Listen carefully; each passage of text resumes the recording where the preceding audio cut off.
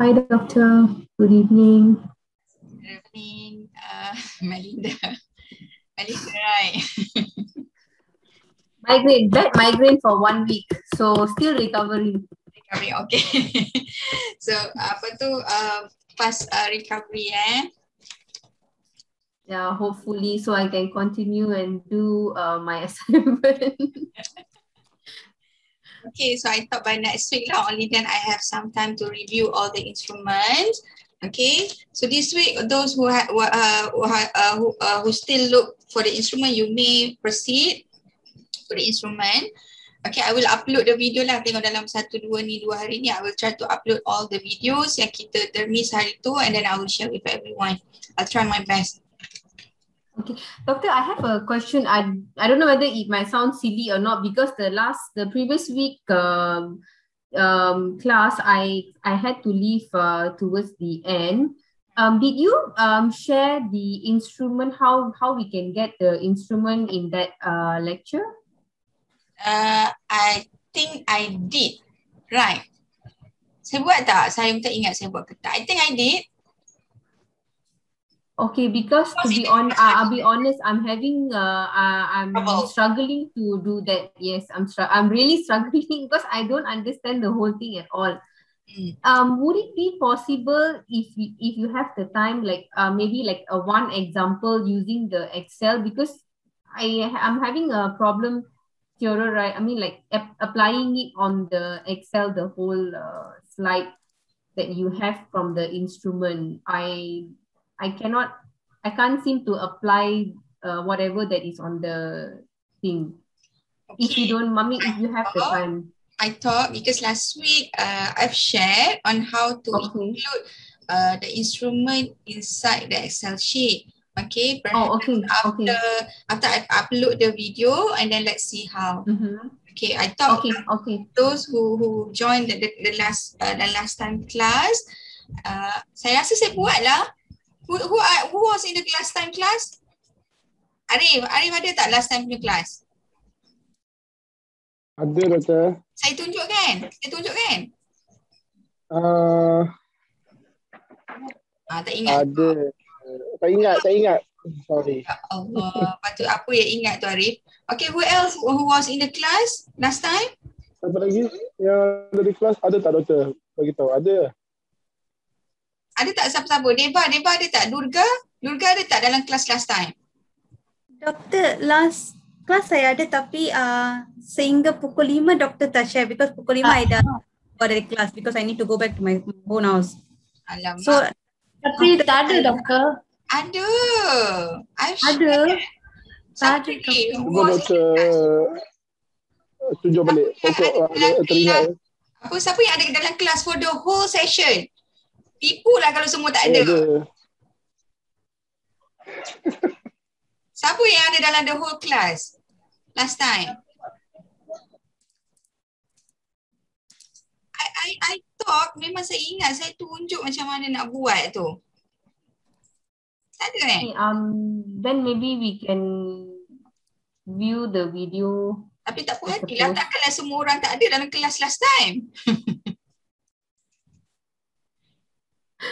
Is there anybody in the class last time? Yang betul-betul ada daripada awal sampai hujung. Semua takut nak mengaku. Mengaku sampai hujung saya tak ada. awal saja. Hey, you all ni. Siapa lagi ya yang ada dalam kelas last time? Ramai. Hmm.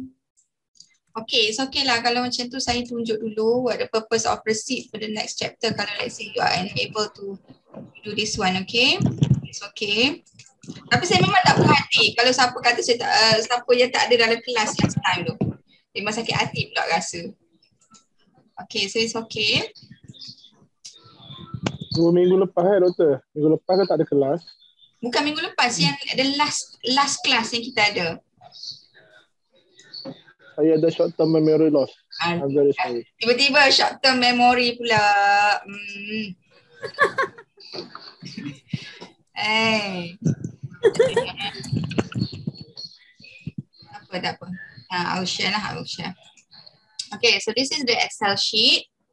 Okay, so this is the one that uh, that I've shared earlier. In every every group folder now they have. So time I thought we have uh, in my document, eh, in my folder, I have 12 uh, folders. Okay, uh, so saya tak tengok lagi siapa yang dah submit. So I'm sure some of you already submitted the draft. Okay, tapi saya tak tengok lagi. Okay, so how you can fill in this Excel sheet? It is very easy. Okay, so the first one is you need to insert your title of your research. Okay, because if you still remember last time we learned about uh, uh, reliability and validity of the instrument. I still remember that one? Reliability and validity of the instrument. Last time? Ah, macam ada je doktor. Ah, ya, saya ni membantu untuk mental, eh, apa tu mental pula, memory recovery. Uh, yeah. Ada doktor tapi dia penghujung sekali jadi dia macam Ya, yeah, uh, yang ni memory loss lah. Uh, session ni memang hujung last time sebab sebelum you all kita faham macam ni nak pakai ni kena ajar konsep dulu. Uh, barulah you are able to understand this one. Okay, so first masukkan title dulu.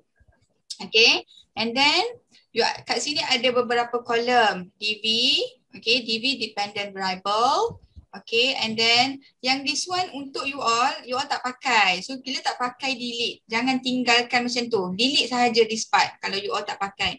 Sebab saya, saya guna this one untuk my supervision. So, kadang-kadang saya tak ada lah delete, lepas tu nak masukkan balik tak ada. Okay, so kalau tak pakai mana-mana kotak kat sini, delete. Okay, and then so untuk you all, you all delete this one. So, you all akan ada IV satu, independent variable satu dengan independent variable dua. Okay, and then kalau lah let's say item uh, kotak ni nanti tak cukup, jangan tanya saya, doktor kotak tak cukup. Tambahlah. Okay, tak, tak payah tak cakap dengan saya, doktor kotak ni tak cukup macam mana eh. Tambahlah kotaknya kat bawah ni, okay. Sebab, sebab apa saya cakap, memang ada student mesej saya tanya kenapa macam mana tak cukup nak buat macam mana. Okay, so then kat sini pula, kita fokus satu-satu. For example eh, the title of your study is Okay, for example saya type kat sini factors contribute ah sorry. Predictors eh saya tukar. Predictors of work uh, of job performance lah senang. Among employees in manufacturing manufacturing companies Okay, so this is the title of my study. Okay. So then next one. So this here, in here under the dependent variable, so I just locate my dependent variable. So what is my dependent variable in this study? What is it guys? Anybody? Based on the title. So what is my dependent variable? Hmm? Job performance. Job performance. Very good, Deva. Okay, so job performance. So basically in title, benda yang kena ada dalam title adalah yang wajib ada dan tajuk itu adalah dependent variable kita. So ini untuk kuantitatif eh. So kalau let's say you all berminat dengan kualitatif nanti itu lain cerita. Ini untuk kuantitatif. So Excel sheet ni biasanya kita gunakan untuk quantitative research. So anybody yang interested to do kualitatif? Ada tak siapa-siapa yang berminat? Nak buat qualitative research.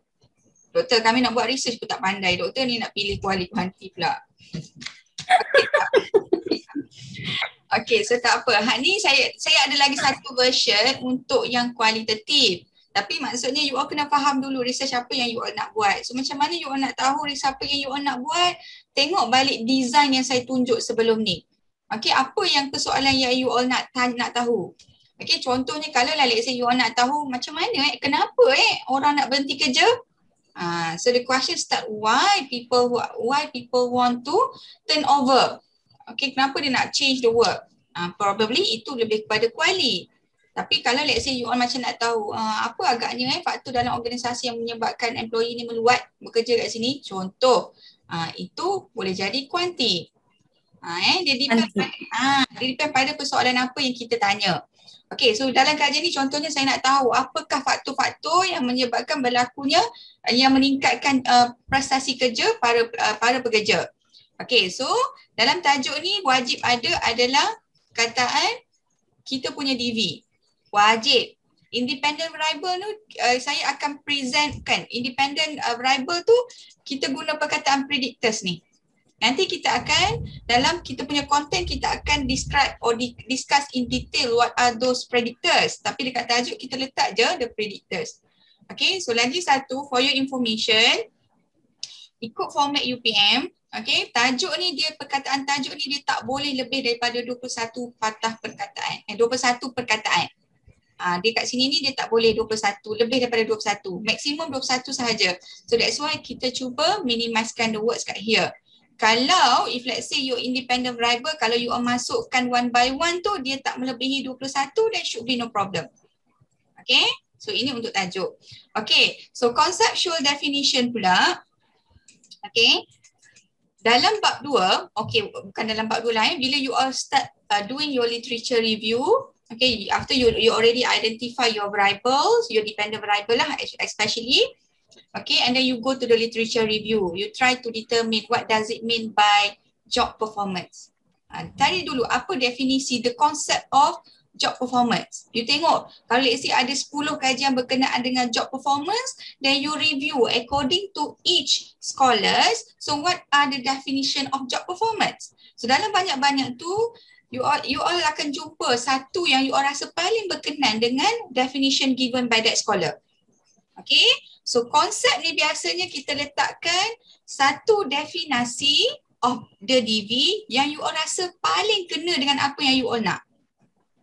Okay, yang you all rasa the, the, the definition given by this author ni very impactful to you. So then you locate the conceptual definition here. Faham? Okay, so for example eh, start saya cari satu artikel yang bagi definition berkenaan dengan job performance. Sekejap, give me few moments eh.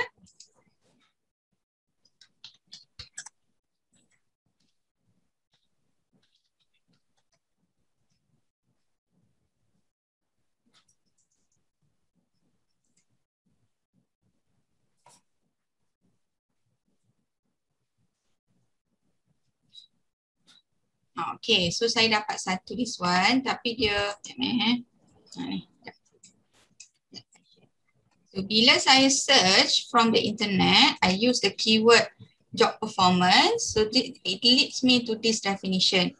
Okay, so job performance is a means to reach a good or set of goals within a job, role or organization. So this is uh, a definition but given by Campbell. Okay. So if let's say I am interested to use this definition as a guide, as a general definition of job performance in my study, so then I just copy this one. Okay, okay, but it would be better if you if you are able to uh, to find the uh, the uh, apa tu the original source, which is you go directly to the Campbell 1990. Ini better lah eh. Kena cari artikel ni then you can get the clear picture. So what does Campbell said about the job uh, job uh, job uh, job performance. Okay? So ni sebenarnya author dia daripada uh, uh, Karen ni, Karen Jacobs ni cite from Campbell. Okay? So this one I just locate in my Excel sheet. This one. So I just copy, sorry. This one I just paste here to reach a goal or set of goal. Okay, so I locate the source here. Okay, so this is the definition. And then this is the source. Okay. Okay, next one now operational definition. So this one, when you choose your operational definition, this one it should be chosen after you robustly review your literature regarding the definition of job performance. Okay. Yang ini kita buat sebelah lepas you all tahu dah kriteria apa yang you, you all nak ukur berkenaan dengan job performance. Okay, so pada saya lah eh, kalau you all paling senang you all cari dulu instrumen yang berkenaan dengan uh, job performance ni. Hold on eh, saya try cari satu. Okay, saya tunjuk.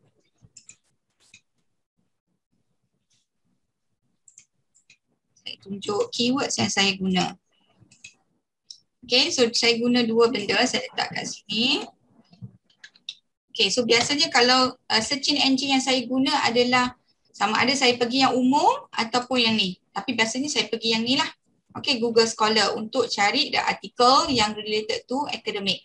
Okay, so for example, saya cari, saya guna keyword job performance questionnaire. Ha, ni dah ada contoh. Okay. So dia ada this one. Contoh eh, saya buka artikel ni.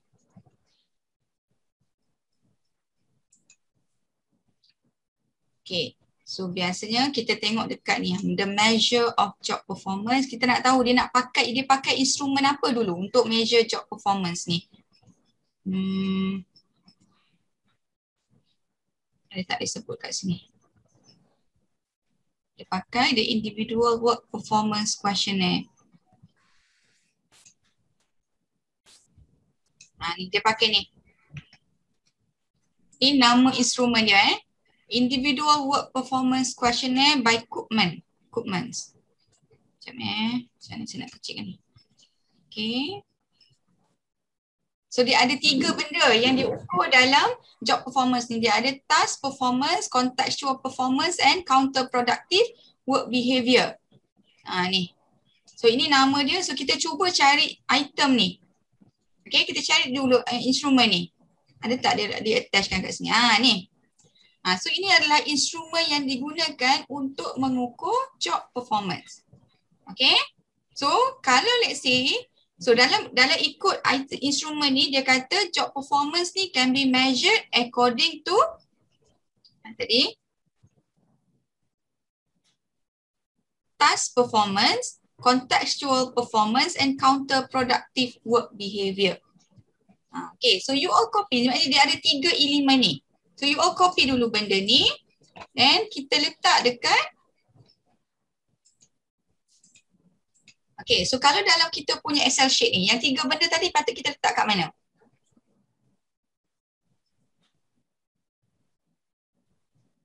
Ha.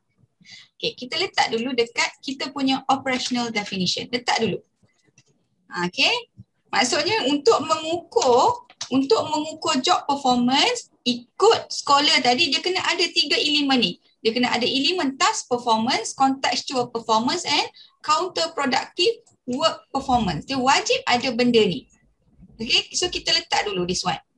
Okay, so next one adalah kita copy satu persatu. Nampak ni kan saya punya uh, instrumen ni kan? Kita tak nampak? Nampak, nampak doktor. Okay. So sekarang ni kita, tugas kita adalah sebab kalau let's say you all nak pakai this instrument, kita copy satu-satu instrumen ni. Ha, lagi satu, you all jangan lupa dia punya source ni. Hmm. Sumber dia. Sumber dia adalah, nama instrumen ni adalah Individual Work Performance Questionnaire by Koopmans 2015. Ha ni. Okay. Ha ni, Koopmans. Copy dulu source dia ni, kita letak dekat Excel sheet ni, kalau you perasan dekat sini ada source of instrument ni kan? Okay, hmm. so letak je kat sini. Ha, ni untuk rujukan you all nanti. Okay, so you all letak. Ni dia punya sumber dia. Siapa yang nama apa nama instrumen tu? Nama dia adalah Individual Work Performance Questionnaire. Okay, siapa yang develop dia adalah Koopmans. Koopmans 2015. Okay, sekarang kita fokus dekat item ni. So give me few moments untuk copy dan paste items dia. Ini kita panggil items eh. The whole set ni dia kita panggil instrument. The whole set ni. Okay, questionnaire yang you all ada tu, borang soal sidik yang you all ada itu nama dia adalah questionnaire. You all dah compilekan few uh, few instrument dalam questionnaire. Okay, you compilekan few instrument untuk mengukur keseluruhan variable. Kita panggil questionnaire. Tapi this one ni satu set of items ni kita panggil instrument yang mengukur ataupun tools yang mengukur uh, uh, job performance variable. Okay? Satu-satu ayat dalam ini kita panggil items. Items. Okay? Item 1 item 2 item 3 and so on okay So, bagi give me a few moment untuk copy dan paste semua ni, okay eh?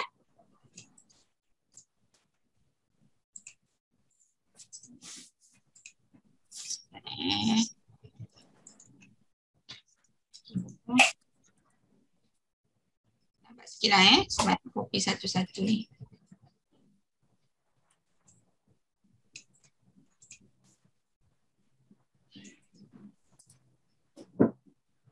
Sebab kalau tak tunjukkan tak tahu pula.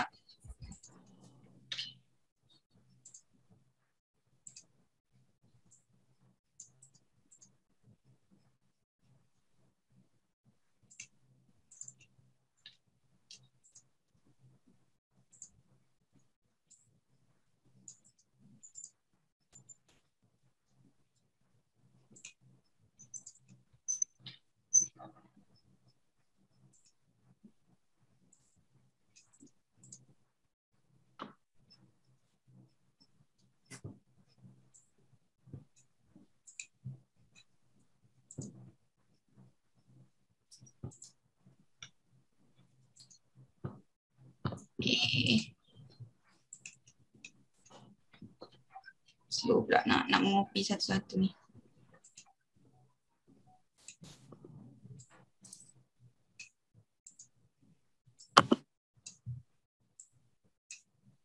Satu, dua, tiga, empat, lima.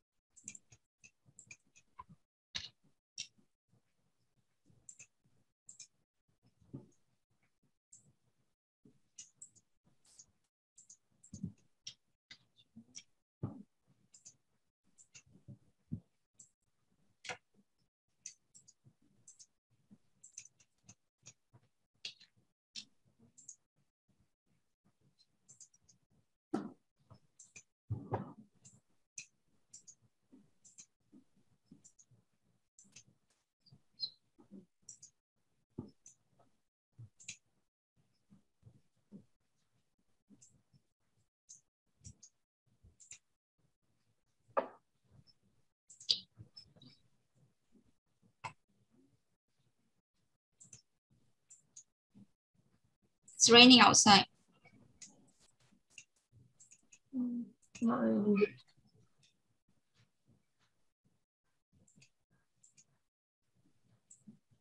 Kat rumah saya petang-petang je hujan sekarang.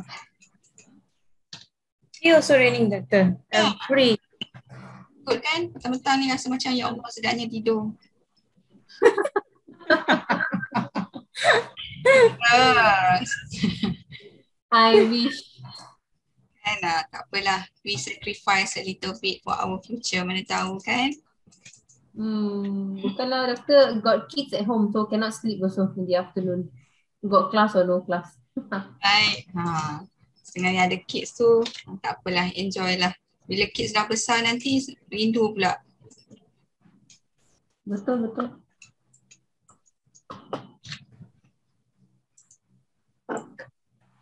Eh, lagi few few items.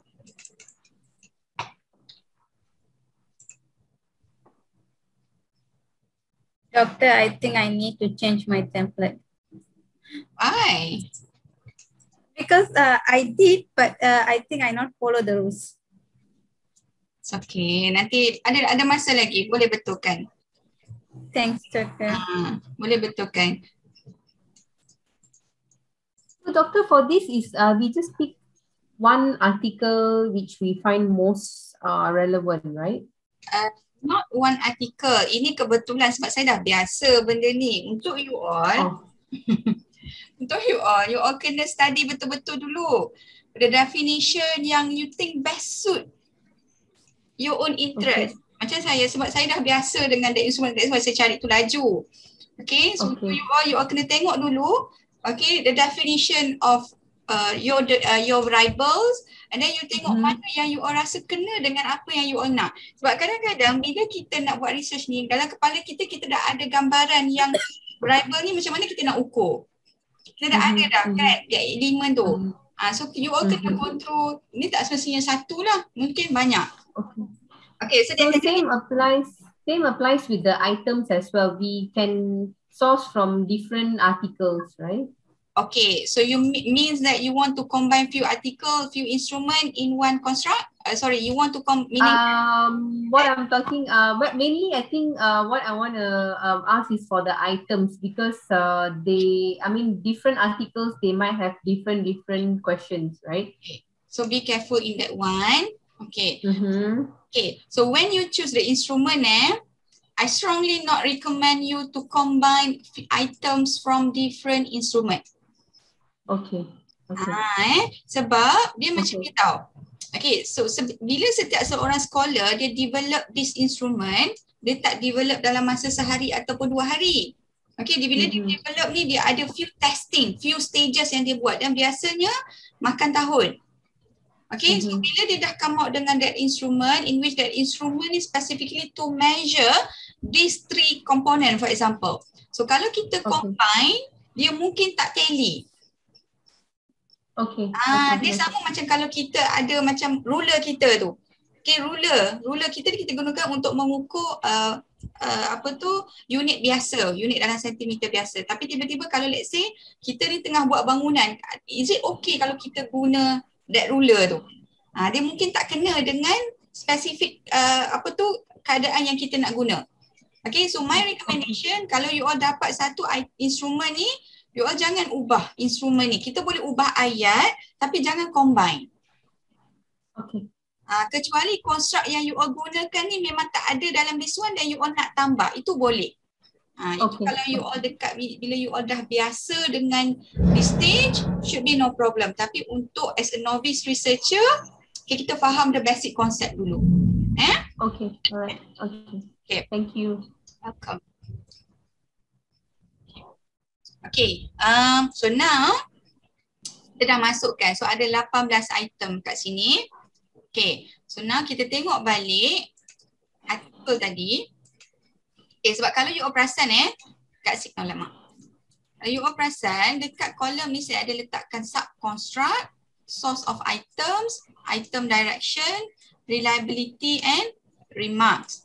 Remarks ni sebenarnya option lah kalau you all nak tanda apa-apa ataupun nanti saya akan bagi komen kat sini.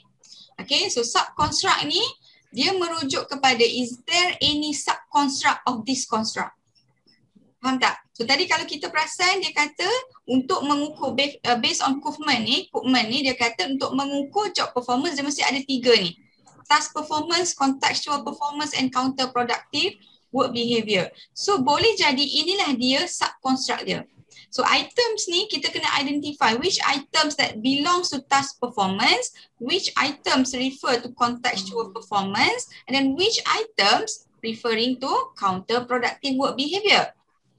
Okay, dia tak semua, tak semua instrumen dia macam ni. Dia depends pada instrumen tersebut.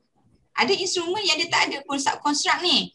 Okay, kalau tak ada then you all tak payah isi kat sini. Kalau ada then try to identify. Okay? Okay. Faham eh? So, kita tengok dekat artikel tu. Is there any information regarding the sub, uh, this subconstruct stated inside this instrument? Kita try tengok. Ha, ni, nampak ni. Ujung ni, dia dah buat ni. Yang hitam ni, three ni belongs to task uh, yang lima ni. Ha, task performance. Another satu, dua, tiga, empat, lima, enam, tujuh, lapan. Another eight items referring to uh, apa kau ni counter productive apa ada di satu lagi satu? Task performance contextual performance dan lastly counter productive work performance. Ah hmm. kita letak ni. Okey so go. Kita pergi balik lap, uh, 58 585 okey. Kita pergi balik dekat excel sheet ni. Kemudian dia kata kat sini lima item pertama merujuk kepada task performance. And lapan item seterusnya merujuk kepada konteks. Okay. Last one. Yang lima terakhir merujuk okay. kepada counterproductive.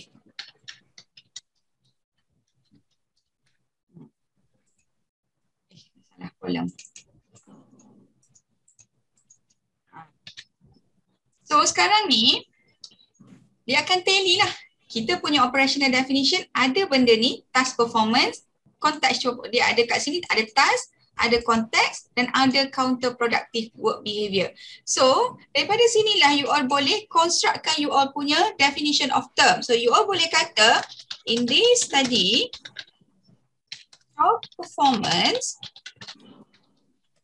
is defined is operationalized as task performance, contextual performance and counterproductive work behavior. That's it. Itu you all punya definition of uh, operational definition untuk job performance dalam kajian you all. Kenapa kita kena ada this definition of term? Sebab mungkin ada kajian lain dia buat pasal job performance tapi dia gunakan uh, dia gunakan elemen yang berbeza untuk mengukur job performance. So boleh jadi findings dia tak sama dengan findings kita. Faham? Dia boleh jadi contohnya kalau saya saya nak tahu kesan uh, personality terhadap prestasi kerja. Mungkin dalam kajian saya saya jumpa uh, saya kata ada ada hubungan yang positif. Tapi mungkin kajian orang lain dia kata ada hubungan negatif dan ada juga kajian lain kata hubungan tu tak ada. Tak ada hubungan. So bila kita nak bila kita nak consider kenapa ada perbezaan hubungan hubungan ni, kita kita boleh rujuk kepada elemen yang dimasukkan dalam pengukuran tersebut dalam nak mengukur job performance tu apa yang dimasukkan dalam kesemua research yang ada finding yang berbeza ni. So basis perbezaan dia adalah di sini. Apa yang kita masukkan untuk kita ukur. Okay? Faham eh? So kat sini memang kita ada elemen task, task performance. Okay, kita ada contextual performance. And lastly kita ada counterproductive work behavior. Tak salah.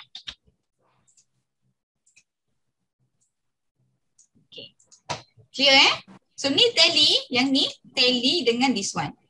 Okay, so operational definition ni dia sangat penting sebab dia akan menunjukkan betul ke tak instrumen yang kita pakai ni. Inilah step yang kita gunakan untuk menentukan content validity. Kalau you all boleh recall last time saya mengajar mengenai uh, validity dengan reliability, inilah kaedah untuk kita menentukan sama ada instrumen kita valid ataupun tak. Valid ataupun tak ni kita nak make, make sure yang instrumen ni tally dengan kita punya operational definition. Tally tu macam mana?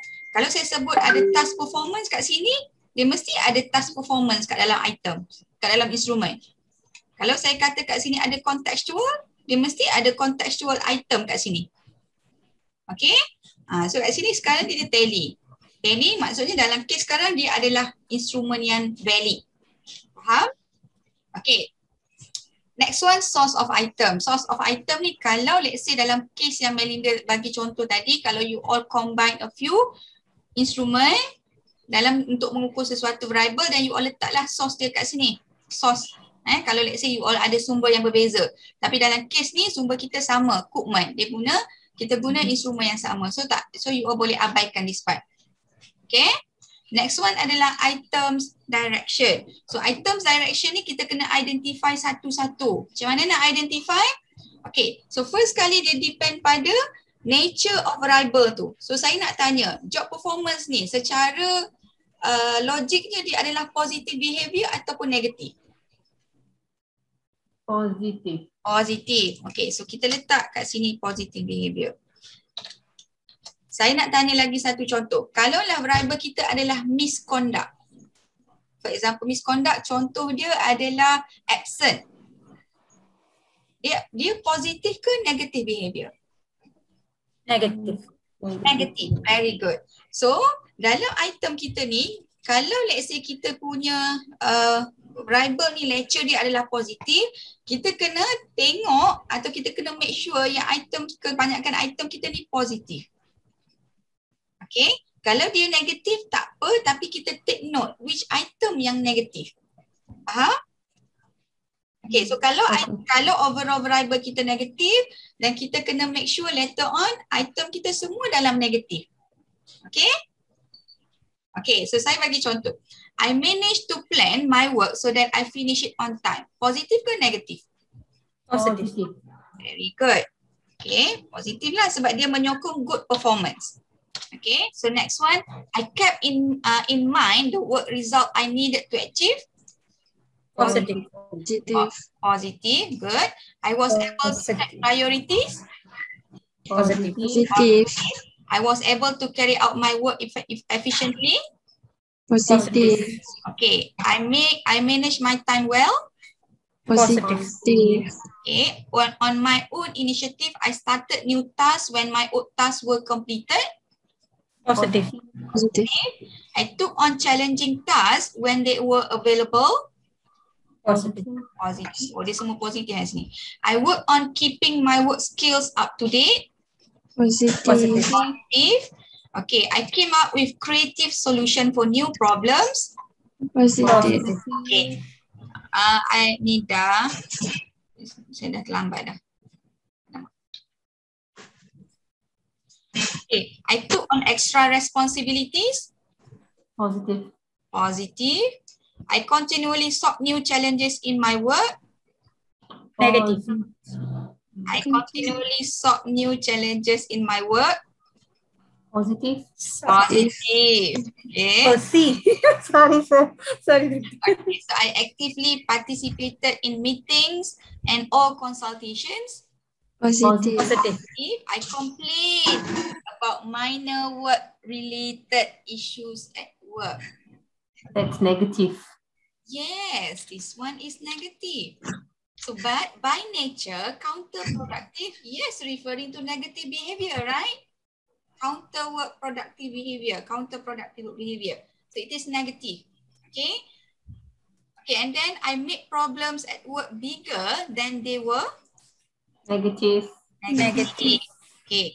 So uh, next one, uh, I focus on the negative aspects of situation at work instead of the positive aspects. Negative. Negative, I talk to colleagues about the negative aspects of my work. Negative. Negative, I talk to people outside the organization about the negative aspects of my work. Negative. Negative. Ah, so identify dulu benda ni. Ini ini nanti dia akan berkait dengan data analysis.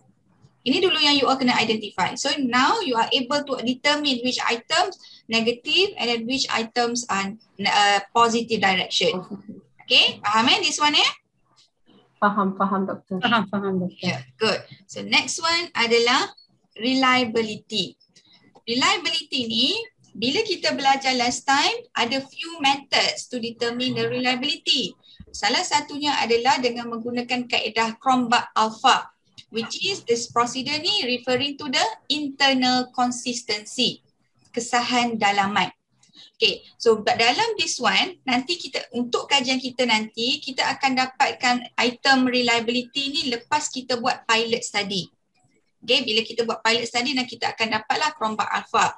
Tetapi sebelum kita buat pilot study ni, bila kita nak menentukan kualiti instrumen yang kita pilih ni, kita letak dulu reliability values ni according to past studies that also use this instrument.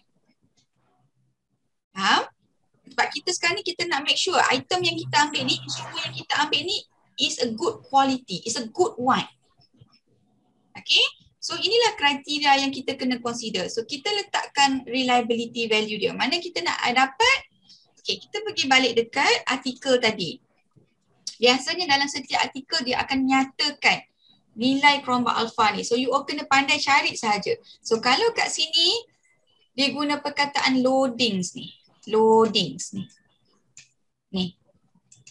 Okay. Ada kadang-kadang dia guna perkataan Cronbach Alpha. Ada kadang-kadang dia guna perkataan loading. Faktor, factor loading. Okay. Dia, dia merujuk kepada benda yang sama. Okay, mungkin sistem dia pakai ni, yang ni ni bila nak analisis ni dia advanced system. Ha, betul lah. Dia pakai uh, uh, structural equation modeling. Advanced punya. So bila untuk statistical advance, yang advanced punya dia pakai terms loading. Kalau uh, dalam artikel tu data analisis dia pakai SPSS, biasanya kita guna perkataan Cronbach alpha. Tapi apa pun dia merujuk kepada benda yang sama iaitu reliability ataupun consistency of the instrument.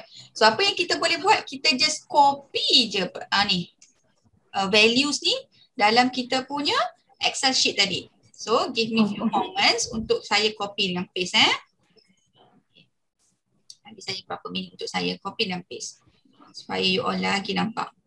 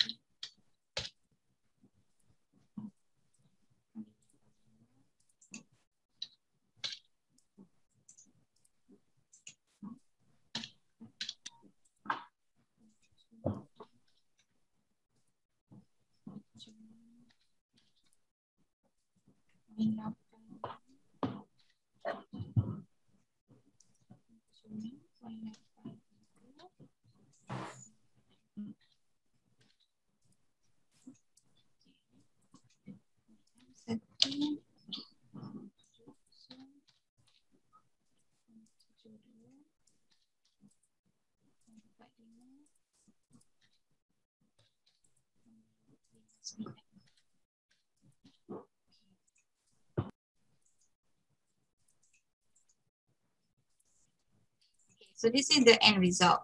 Okay, so kita dah dapat dah.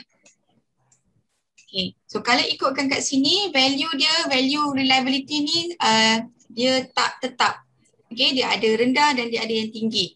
Okay, so kalau you buka balik lecture note saya, dia ada certain values yang kita consider uh, reliability ni bagus. Okay, in which 0.7 and above. 0.7 and above ni kita uh, consider to be a good items lah. So kalau dalam ni kita tengok ada beberapa items yang rendah. This one contohnya. Okay, ini saya tandakan merah. This one. Yang bawah daripada tujuh. Okay, you all tengok saya punya lecture note. This one.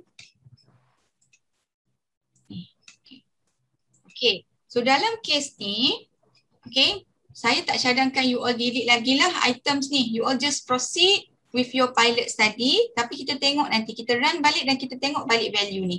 Tapi for the time being, ini sahaja. Untuk the first construct bagi job performance ni. Okay, faham eh untuk this one? Okay, so next one contohnya. Ini tak ada. Okay, contohnya uh, I choose my tak ada kat sini. Okay. Independent variable to be uh, apa ah? Hmm, career develop uh, performance career development opportunity contohnya.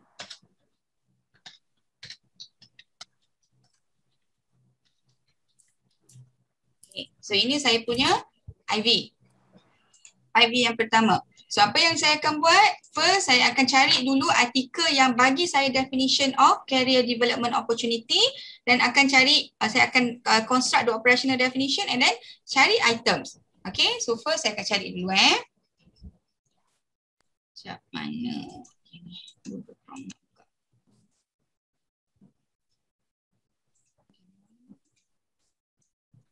Career development. Instrument.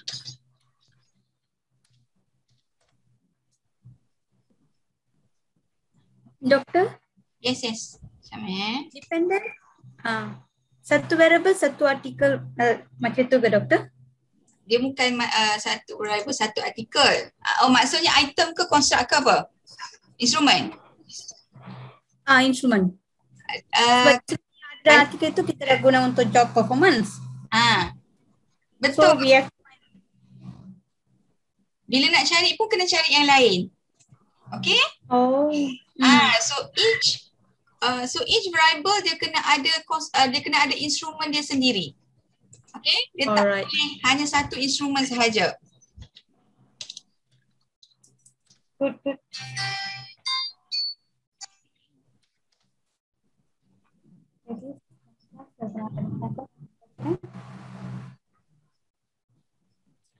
tengok item uh, ni artikel ni ada ke tak.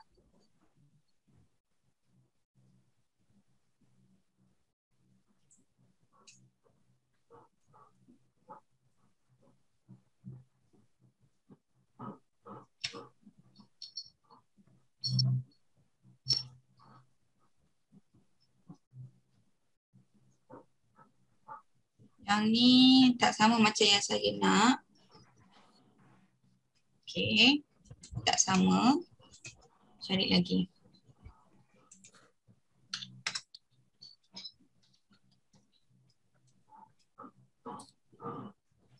Uh, doktor, one more question. Kalau kita nak cari artikel, kita kena cari macam ni ke career development opportunity instrument. Yes.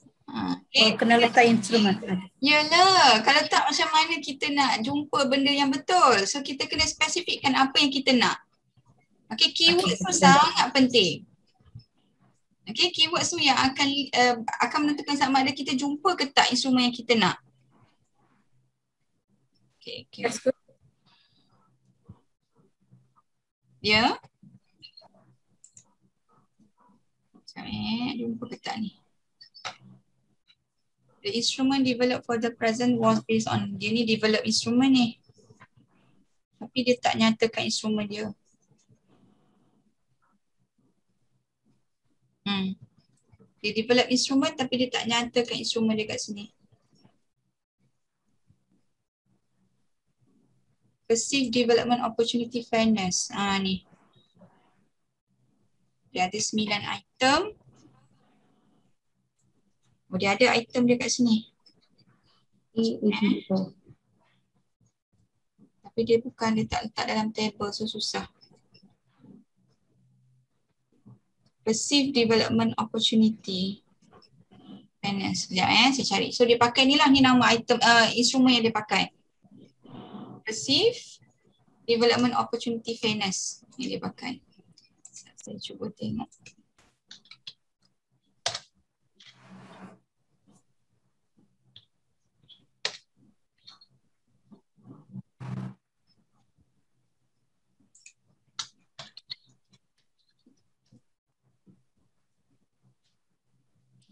Ni. Tapi dia pakai this one lah ni. Eh, mana dah tadi? These nine items can be seen as having two highly correlated dimension. Participating in career. So these these are also one of the instrum um the items, right? Yeah. This is one of the items. Uh, so One of the nine items. Two two of the nine items, right? eight items. Yeah. Dia ada eight. Sekejap eh. Tak ada, dia tak nyatakan. So kalau tak nyatakan macam ni, ada dua cara je. Sama ada you contact the original author untuk dapatkan instrumen dia ni. Ni. Contact this one, email them to get the instrument. Kalau let's say you all tak ada cara lain dan nak juga instrumen ni, then you contact the the author. Kalau let's say susah sangat, then try find another instrument. Ha, itu cara dia. Eh, saya cari lagi. Career Development Opportunity Instrument. This one, cuba tengok. Kita cuba cari yang ada.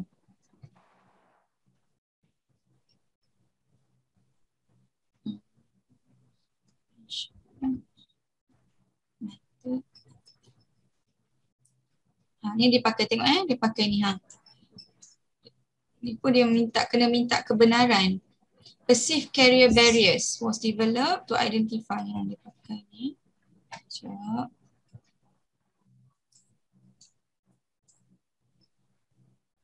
Biasanya dia akan attach tapi dia tak attach kat sini.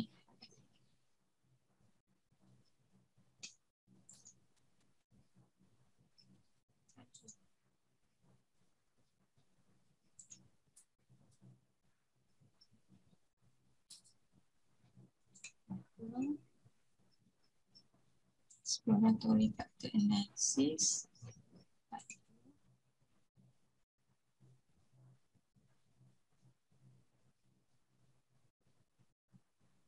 Dia tak letak kat sini, tak apa cari lain.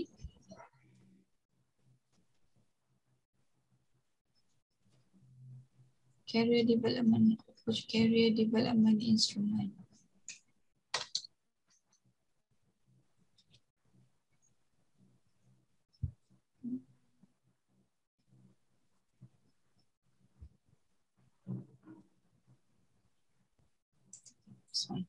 So, instrumen ni yang ini sikit ni.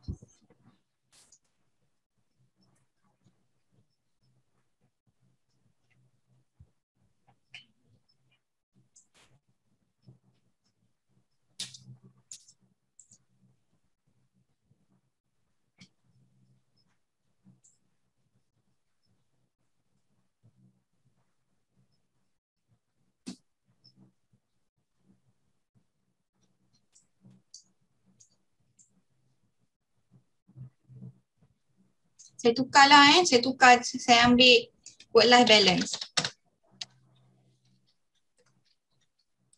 Susah nak cari. Semua design to measure work life balance. Contoh this one tu tengok. Dia ada tapi kena spend some time untuk cari instrumen ni.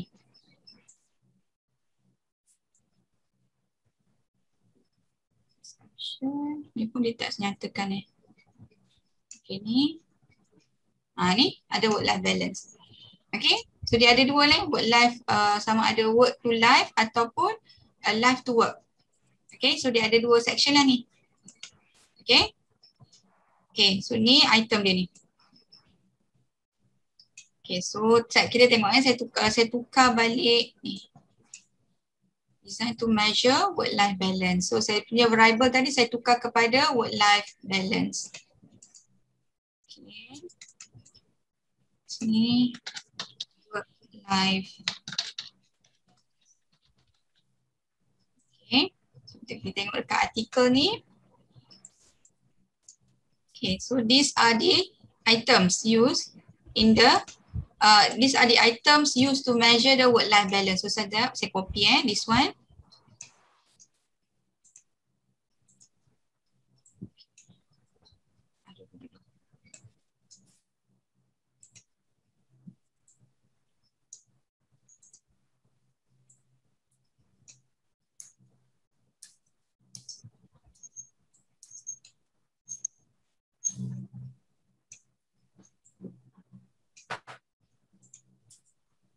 Dia ada 10 item kot.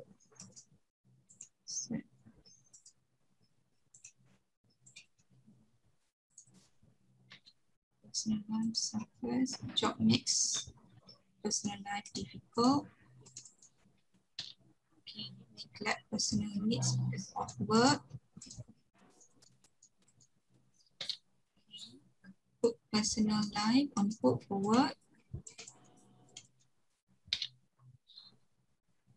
These personal activities. Okay, struggle to juggle for work and non-work. Um, so doctor, basically it would be the same uh earlier as the DV, right? It's yeah. the same procedure. Yeah.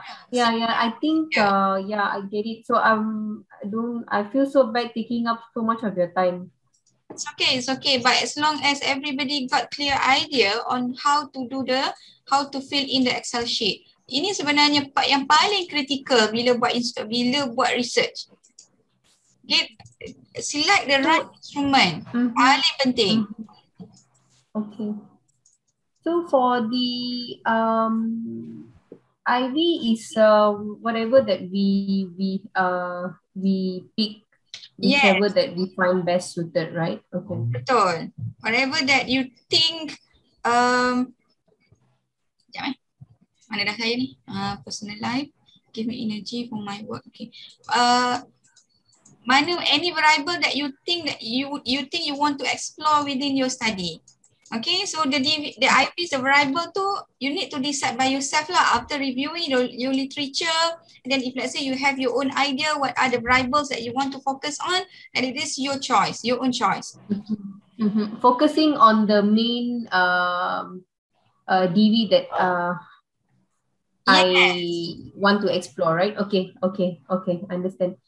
I think this really clears up like 90%, 95%, 99% of everything. Very good lah. So saya dah tak payah ajar dah lepas ni. okay, so ni boleh eh? Boleh. So, sekejap. Ha. So ini dia punya end result. So this ada item sama sama sahaja proses tadi. So this one you need to identify uh, conceptual definition, operational definition, and then source of instrument. So this one item ni dia macam yang ni dia macam tricky sikit. Okay sebab macam Mhm. contoh personal life suffers because of work. So ini adalah item yang mengukur work to life conflict kan? Betul? Hmm. Hmm. work life. This one ni balance ke tak? This item ni negatif ke positif? Negatif. Negatif. Yes, so negative. Ha. Dia tricky sikit this one. Job makes personal life difficult, also work to life. Okay. So ni neglect personal needs because of work, neg- uh, work to life, put personal life on hold for work, uh, work to life, miss personal activities because of work, work to life, struggle to juggle work and non-work, work life, happy with the amount of time for non-work activities. Okay, Balance. this one work to life but the item is positive. Oh. Ha, right? Dia balance lah Hmm. maksudnya. This one. Okay, so the, the rest are negative item. Kalau yang ni pula personal life drains me energy to work. Dia negative item. Okay, dia, it is a, a negative item. Betul kan? Negative item. Hmm. Tapi ni Yes. adalah life to work conflict. Okay? Maksudnya uh, apa tu matters or uh, personal matters interact with work life. Ah, Ah, okay. this one. Okay, so then ah ni pun sama life to work, life to work. Okay. Hard to work because of personal matters, personal life give me energy. Okay, so yang ni dia stop kat sini. Ni negatif. Tapi sampai kat sini, personal life give me energy for my work. Positive. life to work tapi dia adalah positif, balance. Positive. Okay, and then job give me energy to pursue personal activities. Balance, positive. Better mood at work because of personal life. Balance. Better mood Hmm. because of job. Balance. Ha, eh. Ha, so ini maksudnya faham eh? Uh, make sure the rest pun faham macam mana Melinda faham. Is there any question from the floor regarding the items on how you are going to prepare this one? Sebab lepas ni saya tak nak ajar dah. Dah tak sempat dah. Guys, semua faham eh? Berkenaan macam mana nak buat ni. So bila untuk kita construct ni, make sure untuk setiap variable you all mesti ada instrumen dia sendiri. Okay, tak boleh you all kata nak measure job performance tapi dalam construct you all, dalam questionnaire you all, you all hanya ada instrumen mengukur IV. Tak boleh. Dia kena ada semua untuk setiap variable. Okay? Faham eh? So kalau let's say dalam tajuk ni, saya letak saya punya IV adalah work-life balance dan lagi satu probably uh, personality, uh, sorry, this one saya nak letak organizational citizenship behavior.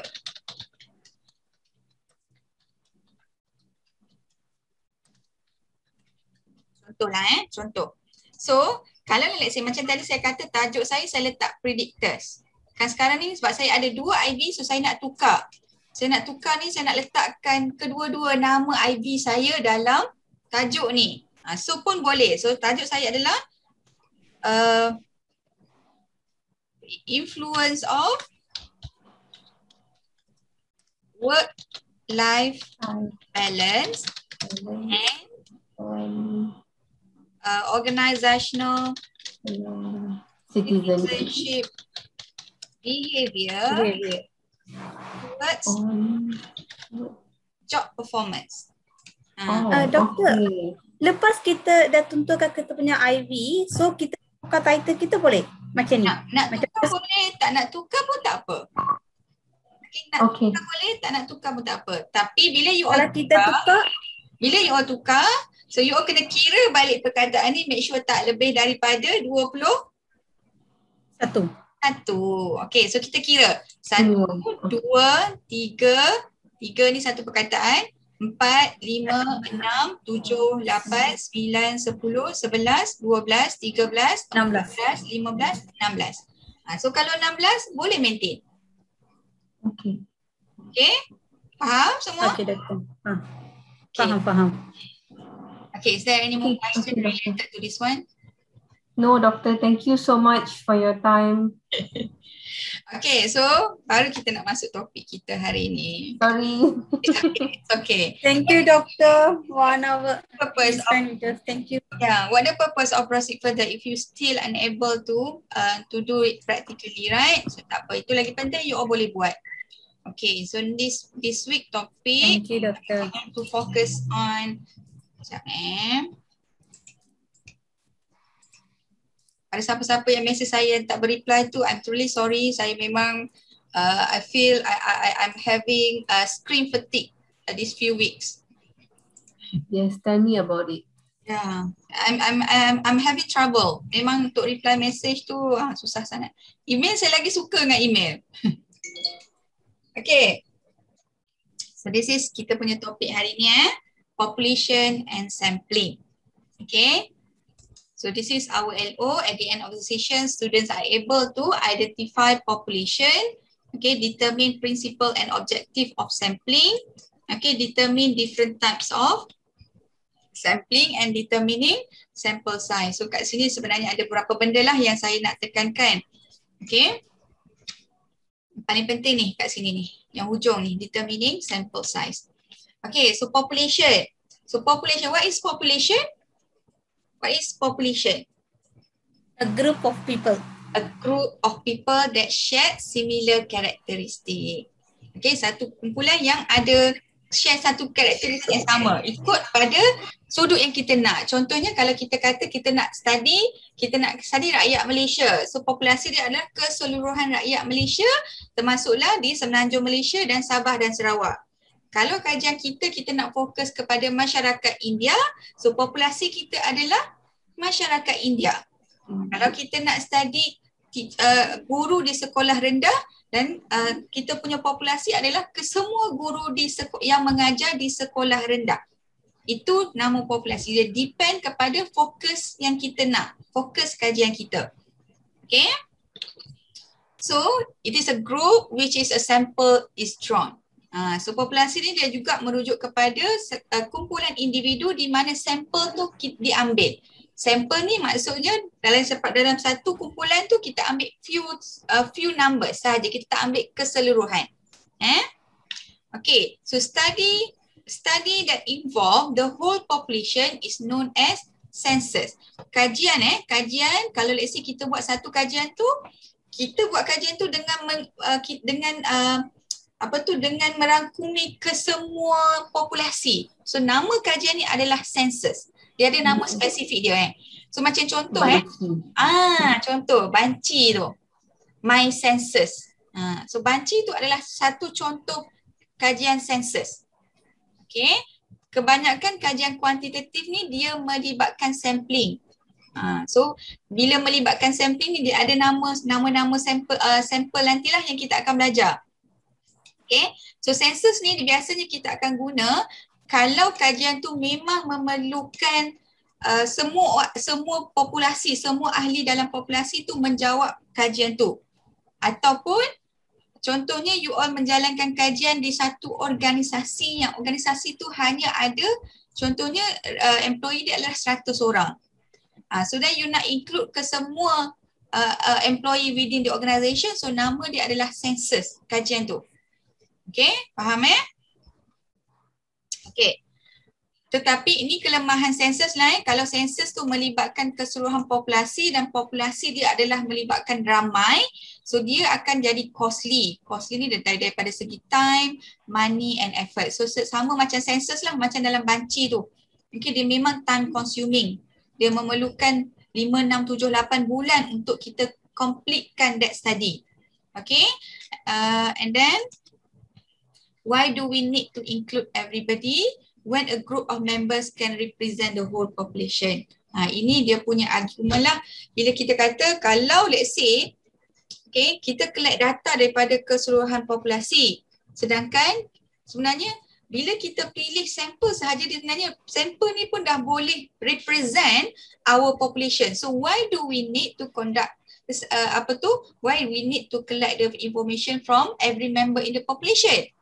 Ha, so ini dia punya idea lah. Kenapa kita nak kita perlu collect kalau let's say kita punya sampel uh, populasi kita tadi adalah guru yang mengajar di sekolah menengah contohnya. How many teachers are there in Malaysia? Berapa agak-agak? Seluruh Malaysia. Semenanjung dengan Sabah dengan Sarawak. Berapa agak-agak? Hmm? Ada siapa-siapa cikgu kat sini? Berapa agak-agak? 3.5 million. Ah, around 3.5 million teachers. If let's say you, you ha contoh lah eh 3.5 uh, apa tu juta. So how may how long you think that you will complete your study if you include all teachers in your study? Berapa lama agak-agak? Kalau let's say you all seorang je buat data collection tu. Kalau banci tu sebab dia ada upah banyak RA beratus-ratus, beribu. Setiap setiap negeri, setiap daerah tu dia ada uh, research assistant. Tapi kalau kita sebagai researcher ni, kita ni dengan kos yang kita ada, dengan tenaga yang kita ada, agak-agak berapa lama baru kita boleh completekan kajian kita ni? Ha. Baru collect uh, apa tu 2000, dah ada grup baru dah yang masuk, uh, dah, dah ada cikgu baru yang masuk ke sekolah tu. Bila agak-agak akan habis data collection kita? Okay, so the argument is, so why do we need to include everybody in the group when a group of members can represent the whole population. So inilah the idea why we need the sample. Why we need sample instead of population. Okay, tapi kita kena still tahulah siapa populasi kita. Okay, so bila kita nak memilih uh, sampel kita ni daripada populasi, okay, ni okay ni ni perbezaan dulu lah eh perbezaan dulu daripada segi sampling dalam kualitatif sorry bila kita nak memilih sampel dalam populasi ni, nama dia adalah proses dia adalah sampling. Proses persampelan. Okay, so ini adalah perbezaan the differences in sampling in quantitative and qualitative research. Dia ada beza persampelan dalam kualitatif dengan kuantitatif. Kalau dalam kuantitatif, dia adalah based on unbiased and represent the population. Prinsip dia, bila kita pilih sampel eh bila kita conduct quantitative research when we want to select our sample we need to make sure that the selection of sample must be unbiased. Okay dia tak kita tak boleh simply pilih. Dia mesti ada kriteria yang kita tentukan untuk memilih. Okay and then sample yang kita pilih tu mestilah representative the population they must represent the population okay meanwhile kalau untuk kualitatif ni kita pilih sampel dia kita berdasarkan ease in assessing the potential respondents and then your judgment that the person has extensive knowledge related to studied phenomenon. Okay, so kalau dalam kualitatif kita pilih sampel ni, dia berdasarkan mana yang kita rasa senang dengan kita. Okay, And then kita pilih ni berdasar kita pilih responden kita ni berdasarkan kita punya penilaian bahawa orang yang kita nak pilih ni dia mempunyai ilmu, knowledge, skill berkenaan dengan kajian kita. Faham? Contoh, okay, contoh kalau saya nak buat uh, kajian kualitatif, saya nak mengkaji mengenai leadership. Saya nak kaji mengenai leadership. Okay, So dan saya nak kaji leadership ni adalah um, yang uh, uh, leadership dalam organisasi. So mungkin saya akan start dengan leaders dekat jabatan saya dulu. Saya akan kaji mungkin manager saya dulu. Orang yang dekat dengan saya, orang yang saya tahu dia ada pengalaman mengenai leadership. Ha, itu maksud dalam kualitatif. Maksudnya kita purposely choose that person because we believe that person is able to give the answer that uh, that what we want. Okay, itu untuk kualitatif. Tapi kalau dalam kuantitatif ni tak boleh macam tu. Dia mesti ada kriteria. Okay, inilah nanti kita akan belajar mengenai random sampling. Okay, untuk yang kuantitatif. Dalam kualitatif ni dia more kepada convenient lah. Convenient okay ataupun nama dia purposive sampling purposive okay So the purpose of sampling in quantitative research, kita we want to draw inferences about the group from which you have selected the sample. So tujuan persampelan dalam kuantitatif adalah daripada sampel ni kita nak buat inference. We want to infer our finding from the sample ni to the population. Inference, generalization. Okay. Meanwhile, for qualitative research, okay, the purpose of uh, uh, the purpose of sampling is to gain an in-depth knowledge about a situation, event, episode, or to know as much as possible about different aspects of an individual on the assumption that individual is typical of the group and hence will provide insights into the group. Uh, so kalau dalam kuali ni kita buat uh, kita uh, kita cari pilih sampel ni sebab apa? Sebab kita bukan nak buat inference tapi kita nak faham the phenomenon tu according to that individual experience. Okay, kita nak faham sesuatu fenomena ni berdasarkan experience, pengalaman individu tu. Okay, and then in terms of sample size, kalau dalam kuantitatif, okay, the sample size, uh, sample size ni guided by a predetermined sample size. Maksudnya sebelum kita buat uh, kita buat data collection, kita kena tentukan dulu sample size yang kita nak dalam kajian kita. Okay, in which dalam quantitative ni, the large sample size is always the better. Uh, ini a basic principle dalam quantitative lah. Okay, semakin besar sample size tu, semakin bagus, semakin dia dekat dengan populasi. Semakin dekat dengan populasi, semakin close our finding to the population. Okay, tetapi kalau dalam qualitative research, the number of sample ni dia depends on point of data saturation. Kalau dalam kualitatif, bilangan responden yang akan terlibat dalam kajian kita ni dia bergantung kepada data saturation. So what is data saturation? Data saturation apa dia? Maksud saturation apa eh?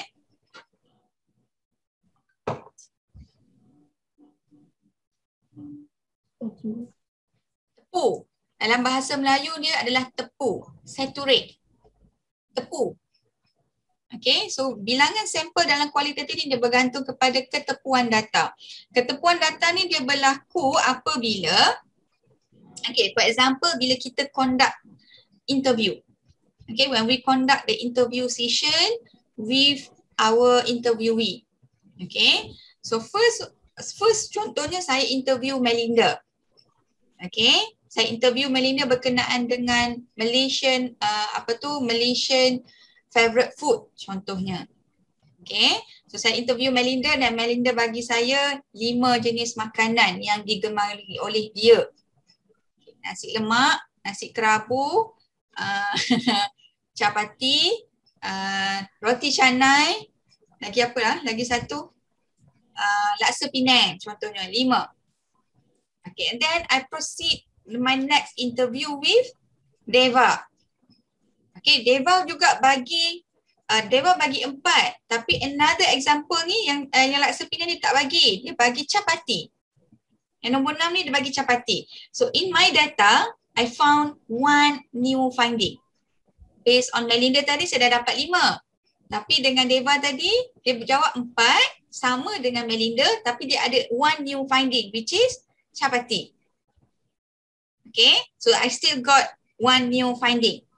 Then I proceed with the third finding, with the third interview. I interview Syarul Zakwan contohnya. Okay, dan lepas uh, interview Syarul Zakwan, dia kata uh, uh, dia punya makanan sama, sama dengan apa yang diberi oleh Melinda dengan apa yang diberi oleh Deva. Sama. Okay. Dan I interview lagi satu. I interview Durga. Durga pun bagi jawapan yang sama. Dia dah repeat dah. Jawapan yang diberi oleh Melinda, jawapan yang diberi oleh Deva dan jawapan yang diberi oleh Zakwan. So this state we call it as data saturation. Maksudnya apabila jawapan yang diberi oleh responden itu sama dengan jawapan yang diberikan oleh responden yang sebelumnya, it means that the data already reached the saturated point. Faham? Ha, maksudnya bila-bila kita interview responden tak kira lah responden ketiga ke keempat ke kelima contohnya responden kelima so jawapan yang responden kelima bagi ni dia repeat dia dah sama dengan jawapan responden pertama, kedua, ketiga dan keempat so means that our data already reach the saturated point. Ha, so maksudnya dalam kajian kualitatif tadi hanya lima responden. Faham? Faham apa maksud data saturation? You all kena faham betul-betul this one. Apa maksud data saturation ni? Faham? Ah, tak faham, faham dalam recording nanti. Faham, doktor. Okay. Dah semua diam tu faham dah tu. Okay. Next one is sampling procedure. Okay, so kalau dalam kuantitatif macam saya kata tadi, okay, Quantitative ni sebab kita punya prinsipal kita nak buat inference from the sample to the population. So that's why bila kita kata kita nak buat inference ni dan kita kena pilih sample kita ni based on unbiased. Bila unbiased, teknik yang kita biasa gunakan adalah randomization. Random ni maksudnya everybody has similar opportunity to be involved or not to be involved in the study. So the opportunity is 50-50 semua orang ada peluang yang sama untuk terlibat dalam kajian. Okay, ini maksud dia randomization. Random ni kita randomly pilih dan dia kena ada teknik. Okay, meanwhile, for qualitative, we purposely select information rich respondent. Ha, kalau dalam kualitatif ni, we purposely pilih individu yang kita rasa mempunyai maklumat yang tepat mengenai apa yang kita nak kaji. Okay. Next one. Okay, so sampling in qualitative quantitative research. Okay, so bila kita nak buat sampling in qualitative quantitative research, benda yang pertama yang kita kena tahu adalah unit of analysis. Okay, so dalam unit of analysis ni, we need to know the sampling frame. Okay, sampling frame ni refers to the population from which the sample will be drawn and to which the sample data will be generalized. Ha, ini maksud sampling frame. Kita kena tahu the populasi, okay, uh, populasi yang kita nak to which the sample data will be generalized. Ini yang kita kena tahu. Sampling frame kita ni siapa? Okay, and then the unit of analysis is the major entity that you are analyzing in your study. So it is the analysis you do in your study that determines what the unit is. Okay, for example, if you are comparing the children into classroom on achievement test score, so the unit of analysis is the individual child because you have a score for each child. So unit, uh, uh, another example, if you are comparing the two classes on classroom climate, okay, so unit, uh, your unit of analysis is the group, in this case, the classroom.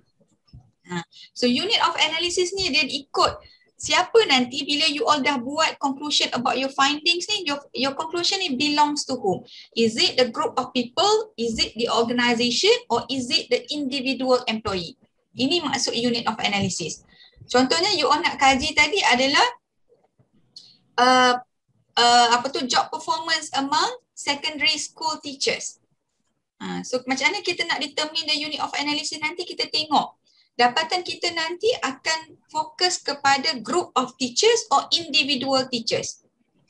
Okay? Faham eh unit of analysis ni? Okay. Next one sample. Okay, so sample allows researcher to examine the characteristic of the population. So a sample can be de defined as a group of relatively smaller number of people selected from a population for investigation purpose. Sampel ni kita tahulah eh, kita ambil beberapa beberapa individu ataupun kumpulan dalam populasi yang besar. Okay. Ni. Ini cara dia.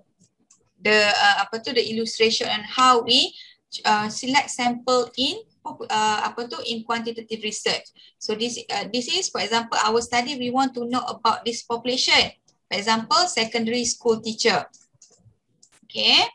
Then we conduct a, a okay. So the value that derive from the population, the name is parameter. Any value derived from the population, the name is parameter. Contohnya mean, ni mean. Okay, so kalau mu ni, mu ni represent population. Tapi kalau sampel kita guna X bar. Okay, simbol dia eh. Okay, so daripada populasi ni, we randomly pick. Randomly pick, we pick sample. Uh, so ini sample.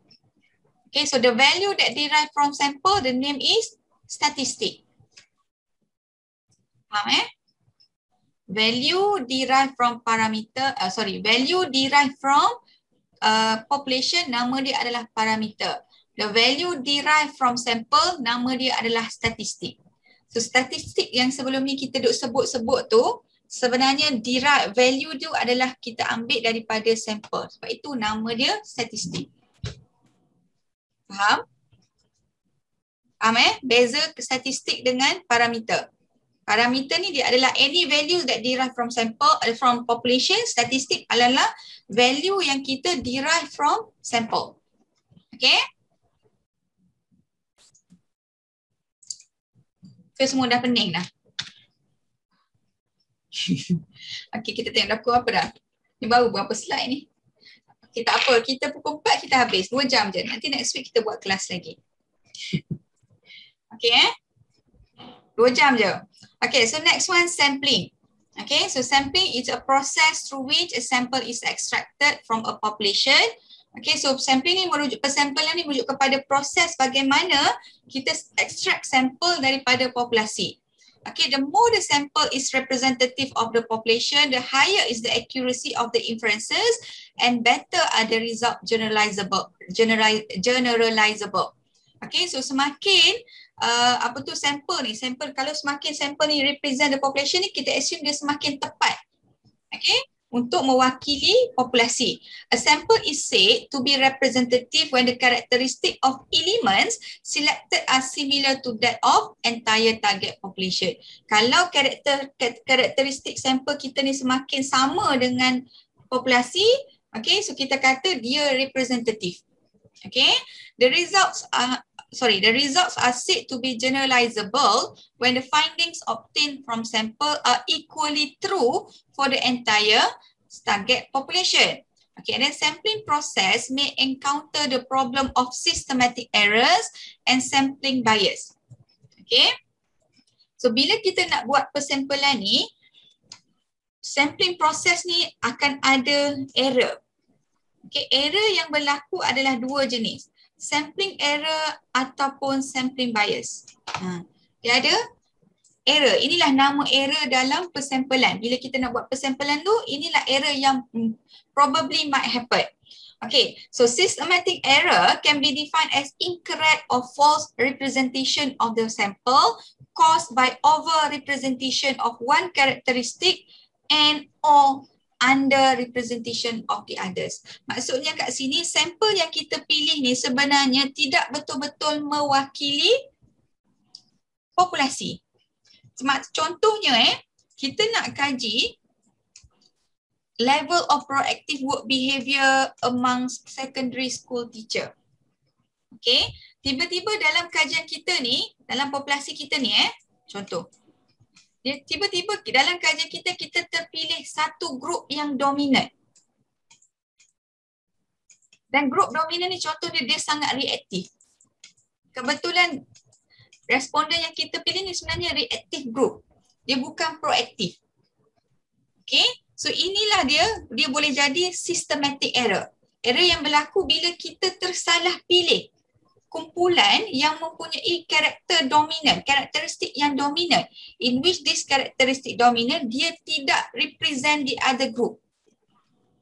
Okay, so next one adalah sampling bias is said to occur when the selected sample does not truly reflect the characteristic of population.